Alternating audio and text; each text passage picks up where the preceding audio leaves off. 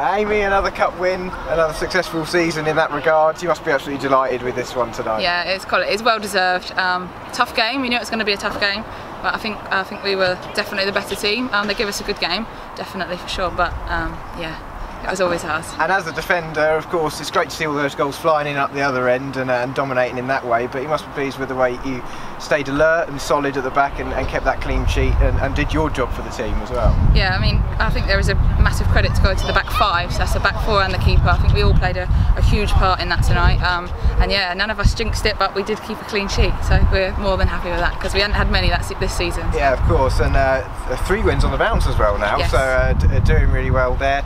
Um, and, and how do you feel about the performance overall then? 5 0, but at times it, it, could have been more as well. Of course, Holly hit the bar in the first half, but yeah. number of chances, particularly in that first half, so you must be pleased with that as well. Yeah, I am chuffed. I mean, there were plenty of chances. It's that's been how we have been all season. To be fair, um, we've had we've had chances. It was just I'm delighted tonight that we did manage to put away five and five different goal scorers. So that's just that's quality.